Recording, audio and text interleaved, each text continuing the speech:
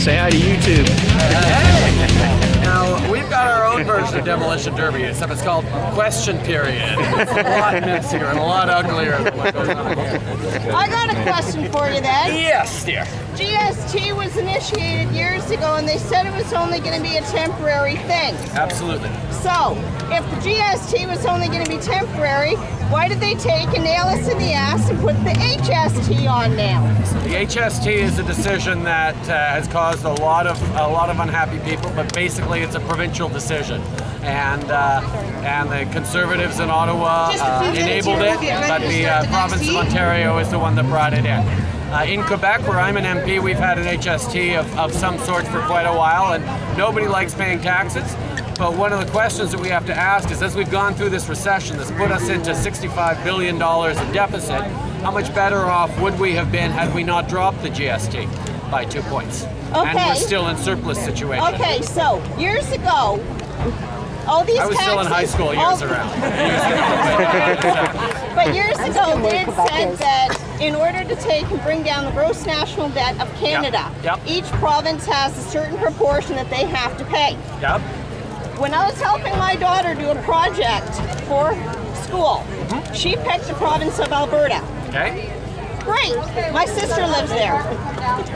so, we did a whole bunch of study financially, economically, uh, agriculture, everything else. And one of the questions that came up was how did Alberta take and pay off their portion of the gross, gross national debt to Canada? They brought a certain tax in, they paid it for so many years. They don't have to pay all the taxes that we do in Ontario.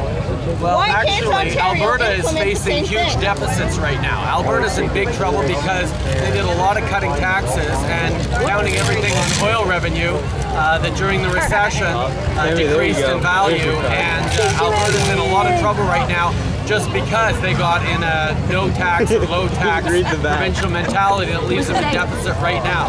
So it's a lot more complicated than just looking at who's paying what. car It's a question of how we pull everything together and understanding that you know the the way we are smart in the about pit, how we have spend Cody our Hughes, tax car number money, 34. as opposed to just saying taxes are good or taxes are bad, but what we spend it on. We're going into a recession, for example. There's nothing bad with borrowing some money so that we can spend a little more to keep people's jobs rolling, give them more benefits. As long as the things we're spending money on make sure that 10 years from now we'll have created enough prosperity that we'll be able to pay back what we borrowed with interest. It's not about how much we borrow or how much we tax, it's the decisions we're making on how we're spending. And right now, our big problem with this government is the way they're not making smart decisions about what the money they're spending on is. Mr. And that's where I Nadia, could you start making your way back over here, please? We need you at the pit. Parliament for Papineau. Can you do me a We need you at the pit, Mr. My wife isn't here today because of the healthcare system. Tell the clown you called. Car number T17, Teddy Chenard. I'm now that